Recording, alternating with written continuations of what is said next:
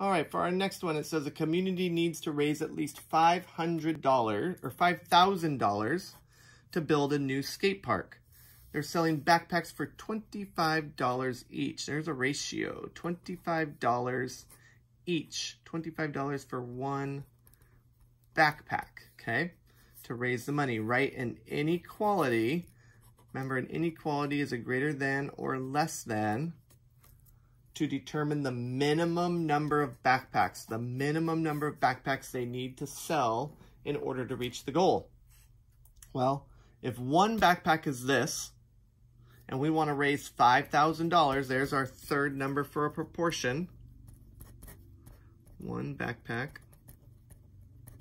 is 25. I want to know how many backpacks I need to sell for 5,000.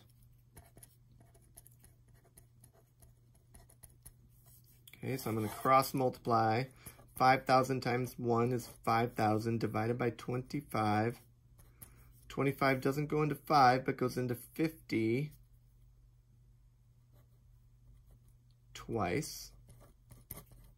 Don't forget these zeros. 25 goes into 0. 25 goes into 0. And we get 200. So we need to sell at least a minimum of 200 backpacks.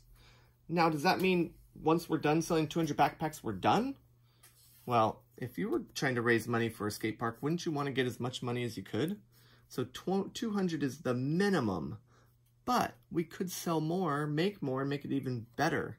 So our inequality is going to be 200 backpacks. Do we want more or less than 200? We want more backpacks than 200. The least amount would be 200 but we're hoping that we get more. So backpacks should be greater than 200. All right, there's our inequality statement. Great job. Hope you understand, and we'll see you on the next one.